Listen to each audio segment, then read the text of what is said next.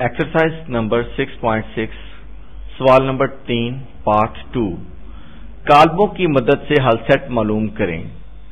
सबसे पहली चीज़ जो हमें कही जा रही है कि कालबों की मदद से हम लोगों ने हल सेट को मालूम करना है।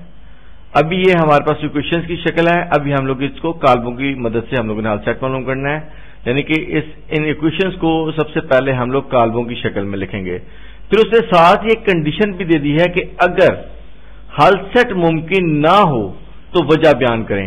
अब हल सेट मुमकिन ना होने की वजह सबसे पहले हम लोग इसको डिस्कस कर देते हैं ताकि बाद में प्रॉब्लम ना आए कि हल सेट सिर्फ़ और सिर्फ़ उसी सूरत में मुमकिन नहीं होता जब ए मक्ता या ए डिटर्मिनेट या A modulus equal to zero आ जाए।